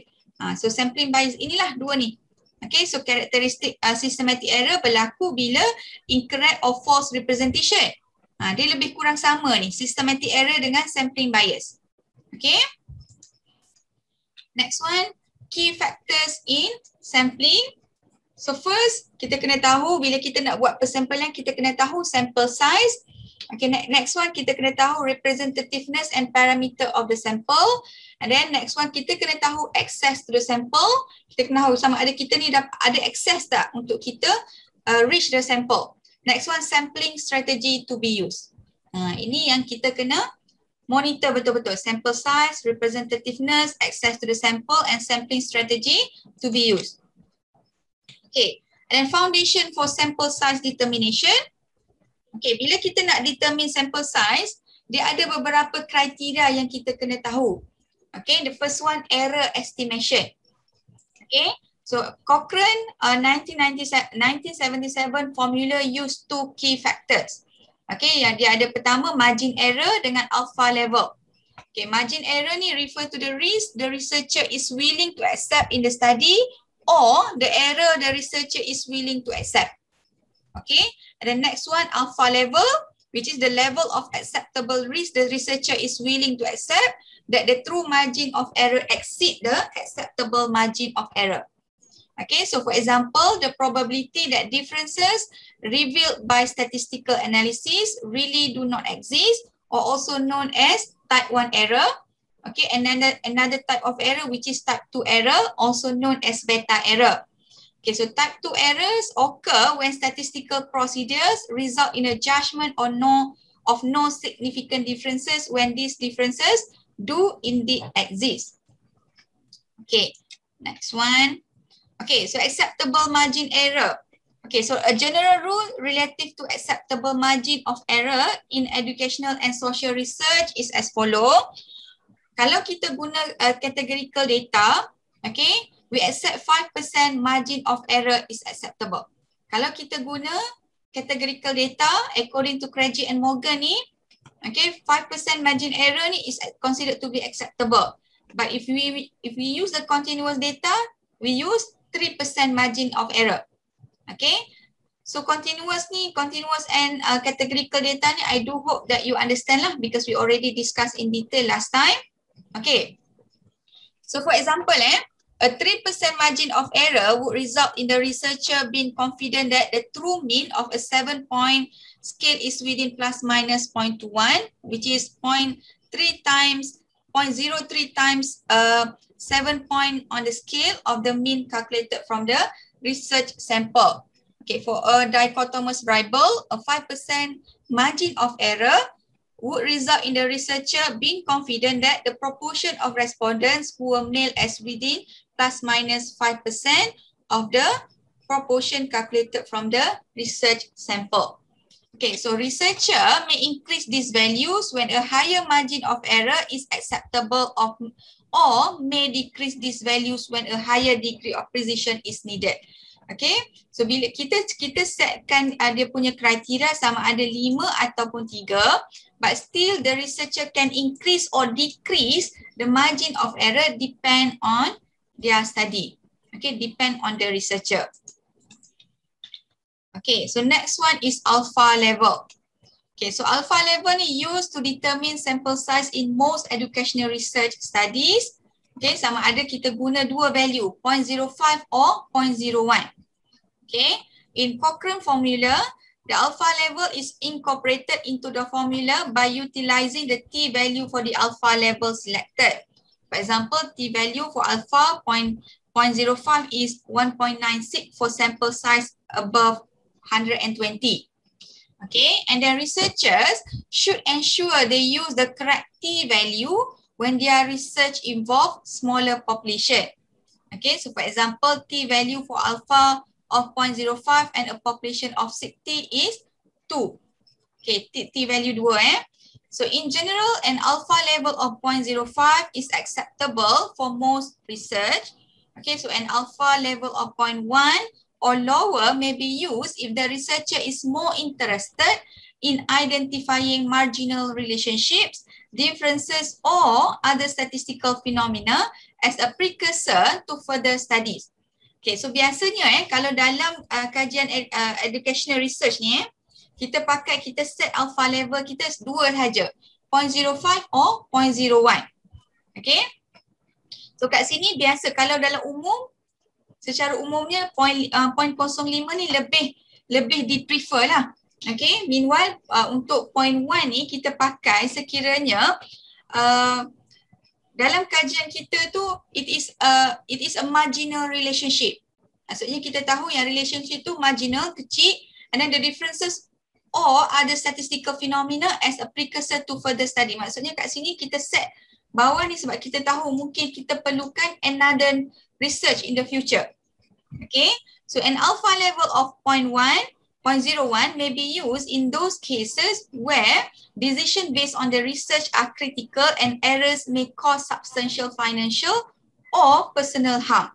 Okay, so bila kita letak 0.1, uh, 0.01 uh, ni dia lagi detail. Point satu ni kalau kita tahu yang sebenarnya memang susah nak dapat uh, hubungan yang signifikan. So that's why kita reduce kan. You, you perasan eh, point satu ni lebih lebih besar daripada point kosong lima. Okay, dia start dengan uh, point satu, point satu kosong, dia jadi point kosong lima. Dan last ni dia jadi point kosong satu. Point kosong satu ni dia paling precise lah. Point kosong satu ni dia sama dengan 99% 99.9% kita confident dengan finding kita. Sedangkan yang point 05 ni dia sama dengan 99 uh, sorry 95.95% kita confident mengenai finding kita. Yang ni 90. Sorry, yang ni 99. Bukan 99. Okay. Kalau yang uh, point point satu kosong ni maksudnya kita 90% kita confident dengan dapatan kajian kita. Kalau point kosong lima ni maksudnya kita 95% confident. Dia macam uh, apa tu? Uh, vaksin lah, macam vaksin. AstraZeneca ke. Okay, berapa persen yang kita confident dengan keberkesanan that vaksin? Sama juga dengan bila kita set alpha level ni set alpha level ni dia menentukan sebanyak mana sejauh mana kita confident dengan dapatan kita ni adalah dapatan yang betul. Okay, so it relies on how what level of alpha that we set. Okay, that one clear eh? Okay, so next one. Saya tengok kat mana yang saya boleh saya boleh stop ni. Kita stop dekat types of uh, types of error nanti. Okay, so next one is variance estimation. According to Cochrane 1977, he listed four ways of estimating population variance for sample size determination. Okay, so dia kata ada empat benda. Okay, so yang pertama, take the sample into step and use the results of the first step to determine how many additional responses are needed to attain an appropriate sample sample size based on the variance observed in the first step data. Ini uh, kalau Cochrane ni macam mana kita nak tentukan sample size, dia kata ada empat step ni. Yang pertama sekali dia kata kita gunakan uh, the result of the first step to determine how many additional responses are needed to attain an appropriate sample size based on the variance observed in the first step data. Okay, and the second one, use the file, uh, use the pilot study results. The third one, use data from previous studies of the same of the same uh, of the same or a similar population or estimate or guess the structure of the population assisted by some logical mathematical result. Okay. And okay, so the first three ways are logical and produce valid estimates of variance. Therefore, we do therefore uh, they do not need to be discussed further. Kalau ikut cadangan daripada okra ni, yang tiga ni dia applicable. Okay, cuma yang hujung ni. Okay, in many educational and social research studies, it is not feasible to use any of the first three ways and the researcher must estimate variance using the fourth method. Okay, and a researcher typically needs to estimate the variance of scale and categorical variables. Okay, and then to estimate the, vari uh, the variance of a scaled variable, one must determine the inclusive range of the scale and then divide by the number of standard deviation that would include all possible values in the range and then square this number. Okay, next one. Okay, so for example, if a researcher use a seven point scale and given that six standard deviation, three to each side of the mean, would capture 98% of all responses. So the calculation would be as follow. Okay, so kalau kita guna tiga, uh, tujuh eh, tujuh like, uh, tujuh point uh, like like scale. Okay. Ini cara pengiraan. Macam mana kita nak kira variance tadi. Tujuh, number of points in the scale divide by six, which is number of standard deviation. Okay, so when estimating the variance of a dichotomous or proportional variance such as gender, Craigie and Morgan 1970 recommend that the researchers should use 0.5 okay, as an estimate of the population. Okay, and then this proportion will result in the maximization of variance, which will also produce the maximum sample size. Okay, this proportion can be used to estimate variance in the population. For example, squaring 0.5 okay, squaring 0.5 ni will result in a population variance estimate of 0.25 for a dichotomous variable. Okay, so ini pula types of error. Okay, so bila bila saya sebut types of error ni, when, uh, we need to know there are few types of error exist uh, when we want to determine our result. Okay, so how to determine the errors ni? The first one, it is based on kita punya hypothesis and decision yet that we make. Okay, again, what is hypothesis, guys? What is hypothesis? Early assumption. Early assumption. Okay, so how we develop the hypothesis? Uh, develop hypothesis with three observation. Uh, lagi, lagi. Next answer, Deva. What else? How do how we develop hypothesis? First, based on assumption, uh, sorry, based on observation. Yes, correct. Next one. Based Wait, on Doctor, I did the notes. Literature review. First, observation. Maksudnya we observe, we observe the phenomena and then we know the logic of the uh, apa tu uh, why of why certain phenomenon happen. The second one we confirm it through literature review. Okay, so we determine, we develop the hypothesis from the observation as well as literature review. Okay, so for example, eh, when we when we mention our null hypothesis, okay, okay, and then uh, uh, our hypo- then we reject. Sorry, then uh, sorry, if our hypothesis, if our null hypothesis is false, then we reject. Is it correct or wrong decision? When we state our uh, null hypothesis and then after we conduct our study, we found that our hypothesis, our null hypothesis is false. Then we reject null hypothesis. Is the decision is correct or wrong? Correct. Correct. Correct. Okay. So we made, we did a correct decision. Next one.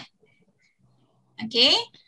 We propose a, a, a, a null hypothesis and then after we conduct the null, uh, we conduct the research, we figure out that our hypothesis is, our null hypothesis is true. But we fail to reject null hypothesis. Is it correct decision or wrong decision? Huh. Correct. Lagi sekali saya ulang. okay. We develop one null hypothesis and then we conduct a study. Okay. After we conduct the study, we uh, the hypothesis should be true, but we fail to reject. Is it correct decision or wrong decision? A wrong decision.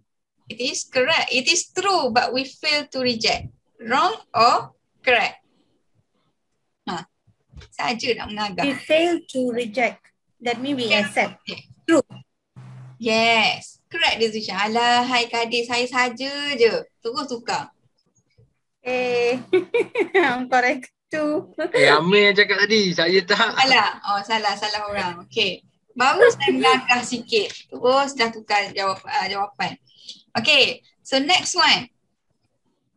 Okay. We we develop one null hypothesis and then it is true. But we reject the null hypothesis. Is it the right decision or the wrong decision? Wrong decision because null, if null is true, we need to accept. Yes. So this one, the name is one error. Okay, the type one error happen when we reject the null hypothesis when it is actually true. It is true, but we reject. Okay, the name is type 1 error. Faham eh? Type 1 error happen because we reject the null hypothesis when it is actually true. Okay, maksudnya kita buat keputusan yang salah lah. Okay, so next one. Okay, we we, develop a, a, a null hypothesis and then we conduct the study and then after that we found out that the null hypothesis is false. It is wrong. But we fail to reject. Fail to reject means that we accept. Is it a wrong or correct decision? Huh, dah kuning dah. We fail to reject. We fail to reject. It is wrong, but we fail to reject. Wrong decision. Wrong decision. So the name is okay.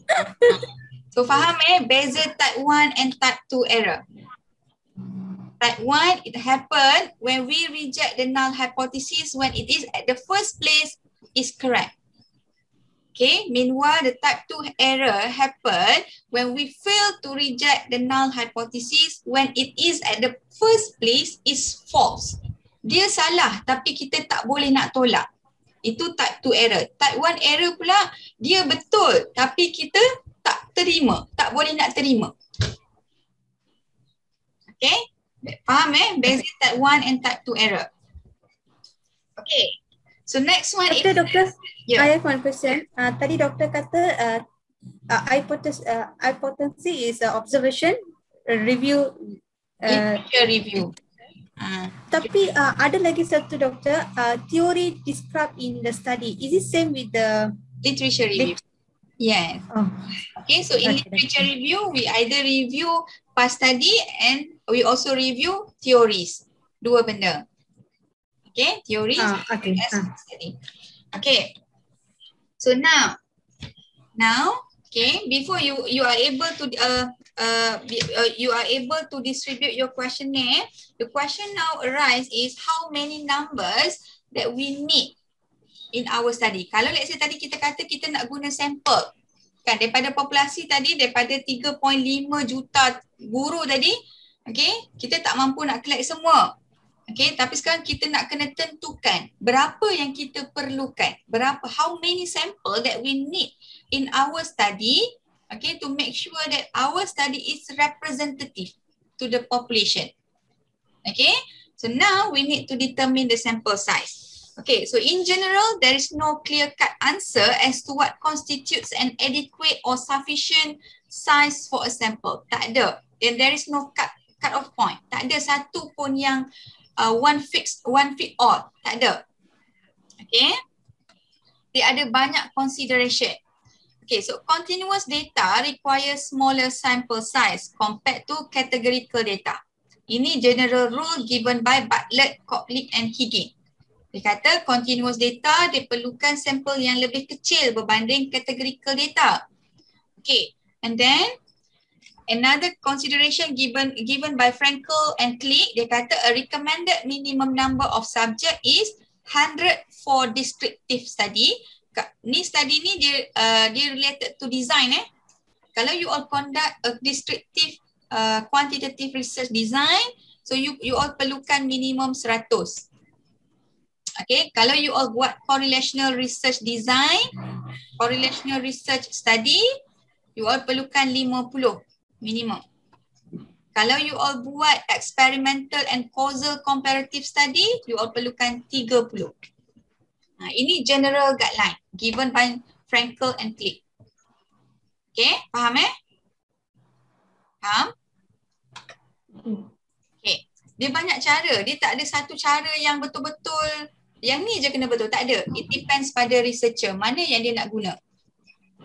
Okay, so next one. Okay. Next one based on Cochrane sample size formula. Okay, so this is the formula given by Cochrane. Okay, dia kata the sample size formula for continuous data equals to n naught equals to t square times s square divided by d square where t equals to value for selected alpha level of 0.2 0.025 in each tail Okay, tail ni kena you all ingat lah eh, seekor dua ekor ni. Ni. Okay, kalau you all letak alpha tu 0.05, so each tail ni dia akan jadi 0.025. Yang sebelah ni pun akan jadi 0.025. Kalau dua ekor. Dua ekor ni maksudnya your hypothesis is non-directional. Okay? Ha, inilah masa untuk menghubungkan balik sel-sel otak yang dah belajar daripada awal semester hari tu. Two tail, one tail. Okay? Okay, and then S equals to estimate of standard deviation. This one referring to standard deviation in the population. So which is the value is 1.167. So the value dia fixed 1.167. Okay, so estimate of variance deviation for seven point scale calculated by using seven inclusive range of scale divided by six number of standard deviations that include almost all uh, approximately is 98% of the possible values in the range. So ni kita letak 1.167. D referring to acceptable margin of error for mean being estimated. For example, 0.21. Okay. So accept, uh, so dalam kes ni number of point on uh, primary scale times acceptable margin of error okay, or point on primary scale. So seven. So acceptable of margin of error point zero three. Researcher is willing to accept. So tujuh darab dengan point kosong tiga. So dapatlah point dua satu. Okay. Next one. So kita assume that a researcher has set alpha 0.05 okay and then plans to use a seven point scale Okay, maksudnya dalam kajian dia nanti untuk uh, pilihan answer tu dia nak pakai tujuh instead of five. Dia nak pakai tujuh. Okay, faham eh? So now dia letak alpha 0.05, error dia letak 3%. Ingat tadi eh, kalau untuk continuous data, Craigie and Morgan suggest margin error equals to 3%. Okay? And then standard deviation equals to 1.167. So we just plug in the value into the equation. Okay. So t squared, t ni equals to 1.96 squared. Okay, this one. Kalau kita pakai 0.5 ni, automatically dia adalah 1.96 kat sini. Okay, so kita masuk je 1.96 square times 1.167 square divide by 7 times 0.03 bracket square. Okay, we just plug in into the equation, then we get the 118 as our sample.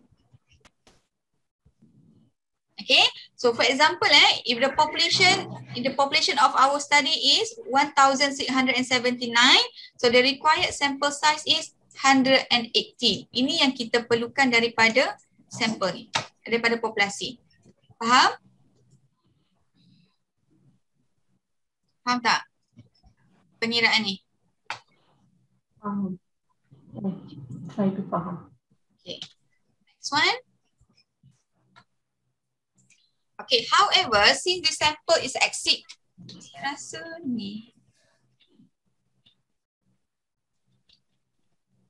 Okay. Kata kat sini. However, since the sample size exceed 5% of the population, okay, Cochrane 1977 correction formula should be used to calculate the final sample. Okay, so Cochrane ni dia set pula kriteria lain. Dia kata kalaulah sample size based on pengiraan earlier ni, okay, exceed 5%. Exceed 5% daripada yang uh, uh, the whole uh, the whole population dia kena ada corrective formula pula yang kita kena follow. Okay, cuba kira berapa 5% kalau daripada 1,679. Mana tu kalkulator saya? Ha, inilah. Okay, so kalau 5% daripada 1,679 ni dia equals to 84, betul? Betul? 84 kan? Betul. Okay, so tadi yang kita dapat adalah 118. So 118 ni exceed 84. So if if the answer ni exceed the 5%, so we need to use another formula, another corrective formula. Okay, so the formula is n equals to n naught divided by 1 plus n naught divided by population. So we just plug in the value 118 divided by 1 plus 118 divide by 1, uh, 1679. So the answer is n equals to 111. 11. Okay, so this is the final, not yet the final, this is the estimated sample size that we need for our study. Faham? After we use the uh, Cochrane correction formula. Clear eh? Okay. Okay, so this procedure results in the minimum return sample. So value dia kat sini ni, value yang dia bagi ni sebenarnya adalah minimum. Minimum sample size that we need before we start to analyze our data. Okay, ini yang kita kena ada dalam tangan sebelum kita start buat data analisis. Faham eh? Okay, so maksudnya kita perlukan satu number lain yang kita perlu distribute supaya hujungnya kita dapat 111. Hujungnya kita nak 111. Wajib ada, this is compulsory untuk kita ada 111 before we run the analysis. But now, the issue is how many that we need to distribute so that at the end of the day kita dapat 111 kenapa dia boleh jadi dia boleh kenapa kita kena consider value lain why do we need to consider another value why not we just consider uh, distribute 111 why why because during the data collection procedure, if we distribute exactly 111, there might be the possibility that our respondent cannot be contacted. They do not answer our question. Eh? They misplace our questionnaire. They wrongly answered the questionnaire. Ha, apa lagi? Ha, so ada probability yang kita bila kita let's say kita distribute 111 ni, kita mungkin tak akan dapat balik keseluruhan 111 ni.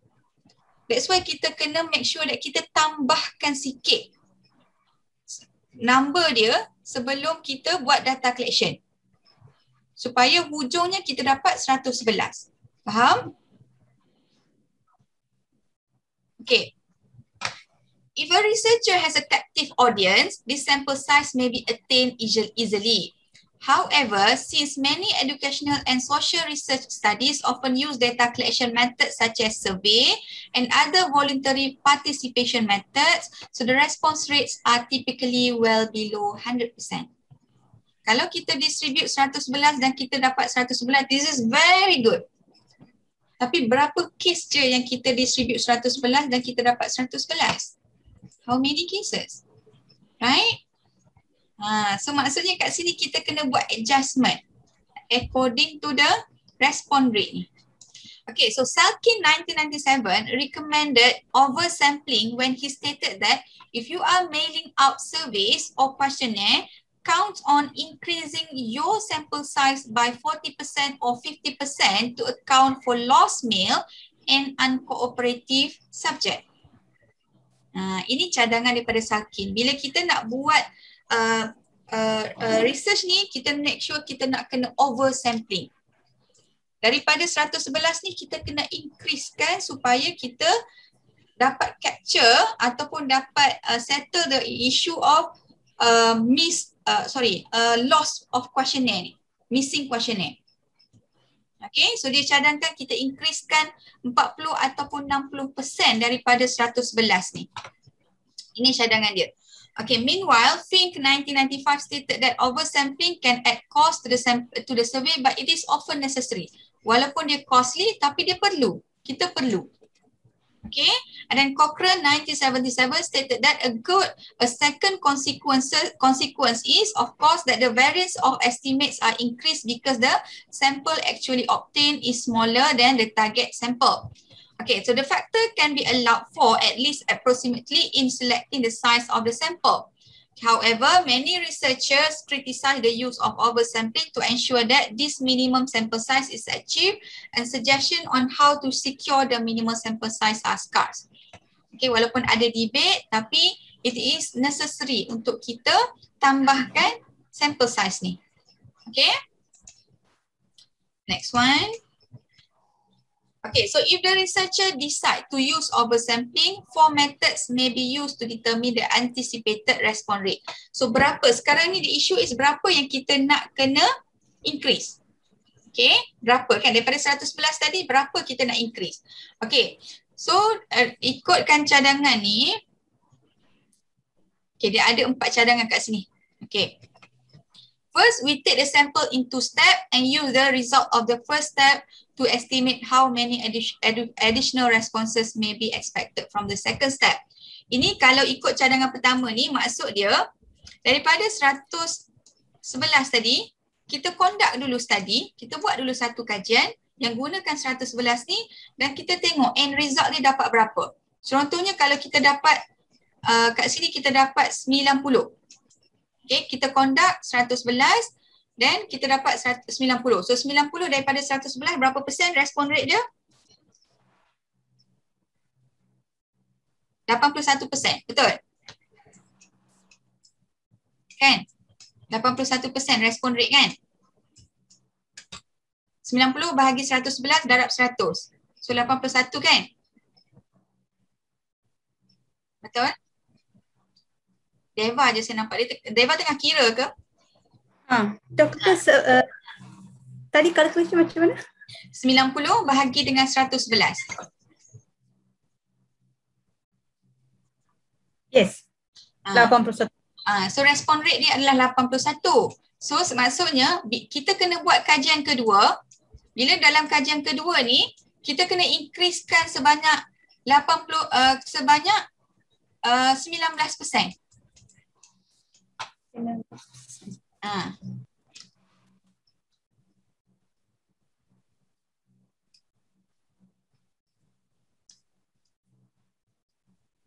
Equals to 137. Ini yang kita kena distribute. 111 divide by 0.81.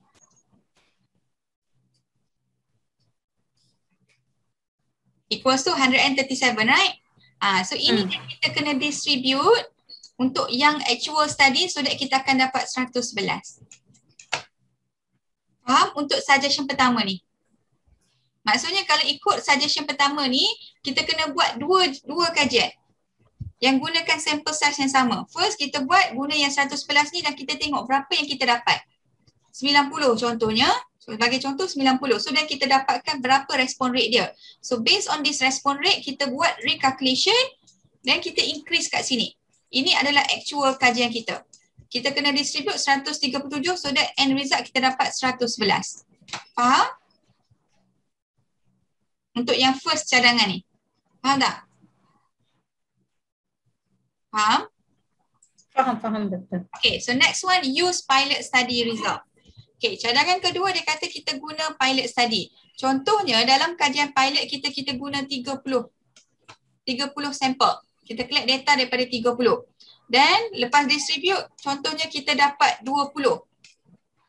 Daripada 30 kita distribute ni, kita dapat 20. So 20 bahagi 30 darab 100 dapat berapa respon rate? 66. 6. 66.67. Right? Yes. Hmm. So yang hujung ni maksudnya 111 divide by 0.6667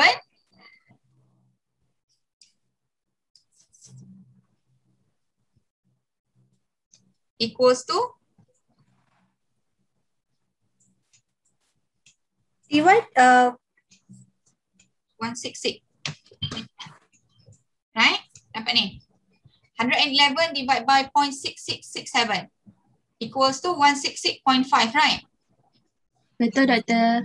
Approaching what, sebab 16 166.5 ni mana ada responden uh, mana ada manusia 0.05 kan? So kita jadikan dia Hmm. 167. Uh, so ini kalau untuk approach kedua ni, uh, ini pengiraan dia. Okay, so ni 167 contohnya. Faham? Macam mana nak kira based on pilot study? Faham. Okay, so next one adalah use response rate from previous studies of the same or a similar population. So kalau ikut recommendation yang ketiga, contohnya kajian kita sekarang kita nak buat among secondary school teacher. Okay, among secondary school teachers. So apa yang kita boleh buat adalah kita refer previous studies that also use uh, uh, secondary school teachers then we check on their response rate. Kalau response rate yang dijantakan oleh previous study adalah point uh, contohnya point 93, 93%, sorry, 93%. So then kita just divide 111 divide by 0.93. So kita akan dapat 119.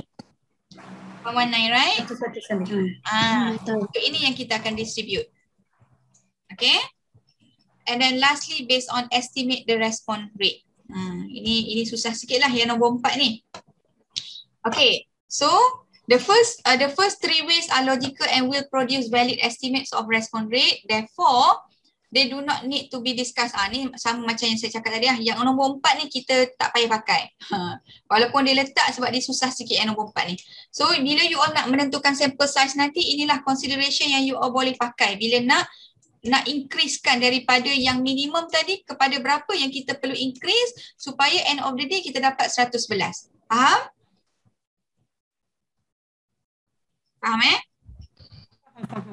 Okay, so for example, eh, for example, it was anticipated that a response rate of 65% would be achieved based on prior research experience given a required minimum sample size corrected yang kita kira tadi adalah 111. So the following calculation were used to determine the, uh, the drawn sample size required to produce the minimum sample size. Okay, so ini yang kita kira tadi. Ah, uh, ni yang ya, sama je lah eh, yang pengiraan tadi. Kalau let's say kita dapat 65%, so then this is how we can calculate. 111 divide by 0.65, so kita dapat 171. Exactly sama macam yang saya tunjukkan tadi, yang ketiga-tiga contoh ni. Okay? Clear eh? Okay, saya rasa saya stop kat sini lah hari ni kot. Uh, saya stop dekat uh, calculation yang ni dulu. So any question so far? Ada soalan? Pasal sample size. Dah saturated lah doktor. Ah, dah tahu dah. Lepas tu semua diam. Hak ni tapi hak ni dia hak ni dia practical. So you all kena betul-betul yang margin error tadi so you all baca dan faham. Tapi yang penting macam mana nak menentukan sample size ni. Okay, this is very critical. Okay, sebab nanti uh, takut bila you buat FYP nanti tak supervisor tak boleh nak entertain selalu. Saya pun memang tak boleh nak entertain selalu eh. so, you all kena memang betul-betul faham.